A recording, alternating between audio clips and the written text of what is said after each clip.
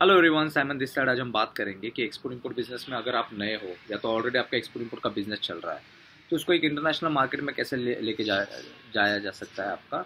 And एक product development में क्या रोल होता है और आप अपने प्रोडक्ट को कैसे इंट्रोड्यूस करवा सकते हो इन डिफरेंट स्टेजेस यूजुअली होता क्या है कि जब भी हम एक्सपोर्ट इंपोर्ट का बिज़नेस करते हैं सब आपको फ्रूट्स एंड वेजिटेबल में एंटर करते हुए देखेंगे क्योंकि उसका बायर इजीली मिल जाता है राइट तो फाइव परसेंट कमीशन पे लोग काम करते हैं बायर मिल जाता है तो लोग ध्यान नहीं देते कि एग्जैक्टली आप किस किस वे पे बायर तक पहुँच सकते हैं नाउ तो कंसेप्ट इज़ कि there are different sales channel ठीक है, इसके ऊपर बाद में बात करेंगे, अभी थोड़ा सा वो ओवरव्यू देते कि हम क्या करने वाले अगर चैनल पे नए तो सबसे पहले सब्सक्राइब कर दीजिएगा so that I can create more videos like this right अब देखिए, आप अगर सीखने जा रहे हो या तो मीटिंग में हो तो ऑलवेज रिमेंबर आप किसी भी फेयर पे जा रहे हो या तो किसी भी कोलेब्रेशन में जा रहे हो, लोगों से मीटिंग कर रहे हो तो वहाँ पे आप अपने सैम्पल्स कैरी कर लीजिए सो दैट जब भी मीटिंग में आप बैठोगे तो आप दस लोगों के पास अपने प्रोडक्ट रिप्रेजेंट करोगे तो उनसे आप ओवरव्यू ले सकते हो। अगर आप नए हो तो आप किसी भी इंस्टीट्यूट के पास सीखने जा रहे हो तो what you have to do is अगर आपके पास खुद का प्रोडक्ट है तो वो प्रोडक्ट के सैंपल लेके जाओ, उनसे राय मांगो कि, सर, इसमें और क्या प्रोडक्ट डेवलपमेंट की ज़रूरत है? पैकिंग में क्या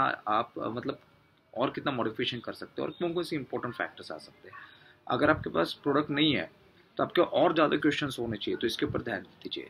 तो जैसे मैंने आपको पहले बताया कि आपको सैम्पल्स कैरी करने हैं। Now the second point is कि आपको अपना, आपका production wholesale and sale prices पता होना चाहिए कि आप डोमेस्टिक में कितना बेचते हो। और ये क्वेश्चन तो हर किसी का मन में आता है कि मैं फ़ॉरन में कितने प्राइस में बेचूँगा? देखिए, अगर कोई सौ रुपये की चीज़ है, कोई डेढ़ सौ में बेच रहा है दो सौ में बेच रहा है, आपको उससे मैटर नहीं होना चाहिए, है ना? It's it's none none of your business क्यों? क्योंकि अगला किस रेट में खरीद रहा हो, किसमें बेच रहा है, ये पता करना तो समटाइम्स इट्स क्वाइट टफ तो आप परसेंटेज में लेके चलना कि मुझे फाइव परसेंट कमाना है टेन परसेंट कमाना है। और आपको स्टडी होना चाहिए, ये डिस्ट्रीब्यूशन चैनल का पूरा टॉपिक है कि किस लेवल पे क्या प्राइस पे आप क्या बेचोगे, उस हिसाब से आप किसको बेच रहे हो इंपोर्टर को बेच रहे हो डिस्ट्रीब्यूटर को बेच रहे हो सप्लायर को बेच रहे हो एंड यूज़र को बेच रहे हो, है ना? तो उसके ऊपर प्राइजेस वेरी करता है। तो ऑलवेज रिमेंबर आप कहीं पे सीखने के टाइम या तो मीटिंग के टाइम आप अपने प्रोडक्शन के ऊपर ध्यान दोगे कि आपका क्या प्रोडक्शन है एंड आपका सेल uh, प्राइसेस क्या है आप कैसे लेवल पे बेच रहे हो।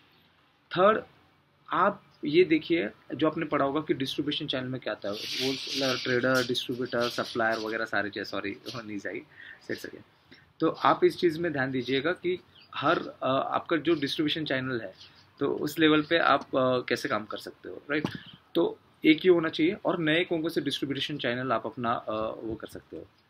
ठीक है?